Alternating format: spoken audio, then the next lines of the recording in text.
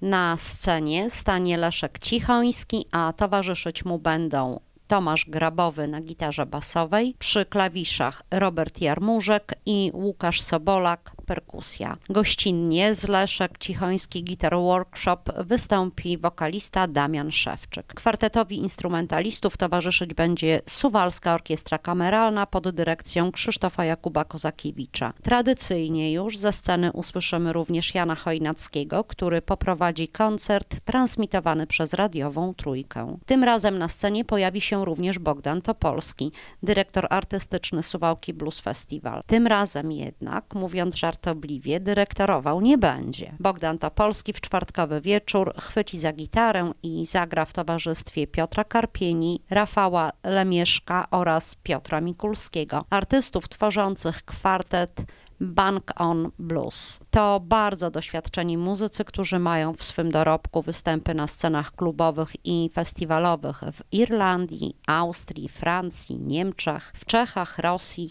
oraz na Litwie, Łotwie, a także w Szwecji i Norwegii. Podczas rozgrzewki fani bluesa będą mieli okazję nie tylko posłuchać dobrej muzyki, ale poznać również największą tajemnicę tegorocznego festiwalu listę gwiazd, które staną w połowie lipca na suwalskich scenach.